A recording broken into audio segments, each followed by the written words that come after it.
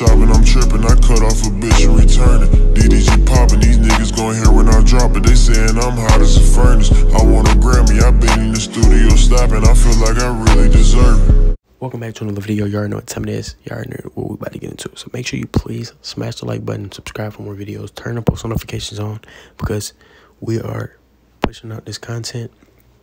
Um, we pretty much describe outfits, break down outfits daily. So she went with a green wash denim, cargo denim at that, um, from Fashion Culture off TikTok. And then she also goes in with accessories, a necklace, some rings. I think she has on a bracelet. Then she also put on shades. Then she got a YSL bag. Um, she she actually went crazy with this one for sure. Um, I'm a, I think actually this long sleeve Felice um t-shirt, long sleeves t-shirt is actually from Prada. So I think it's actually a Prada shirt.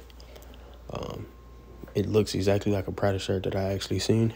So, and then the heels, I don't technically know exactly where they're from, but obviously she go with matching heels to match the shirt and also the shade of the jeans. So y'all let me know, rate one through 10. How did she do? 10 being the best. Um, she killed it. One pretty much on a scale of, of she could have done better. And also if you comment one, let me know what she could have added.